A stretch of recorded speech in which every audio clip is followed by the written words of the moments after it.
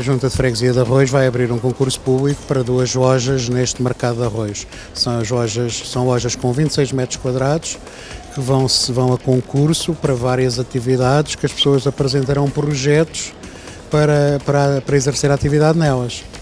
São, são só duas lojas, a loja número 10 e a loja número 19. O concurso vai estar aberto a partir do dia 14 de agosto até ao dia 28 e as pessoas terão que se dirigir ao, ao, ao atendimento da junta para ao, aos anjos para tratar de, de, concorrerem a esse concurso e inteirarem-se das, das condições de, de, concor, de concorrer a esse concurso, para concorrerem a esse concurso.